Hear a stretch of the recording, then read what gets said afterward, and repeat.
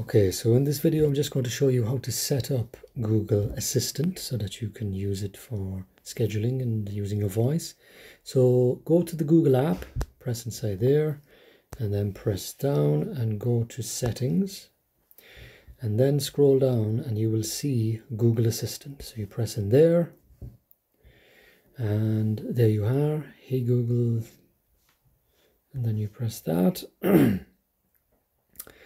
and as you can see it's automatically switched on. So if it's not switched on and you're saying hey google and it's not working you just make sure that you navigate to this section and switch it on. Now you can also retrain the model so that's important.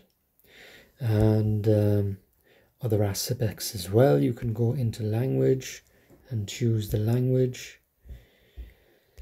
Let's see there. So I have Ireland and um, let's go back and if you go down further you have other aspects to to go over. So that's basically it. To make sure that you have Google Voice Assistant switch on just make sure that that's switched on there. And thank you for watching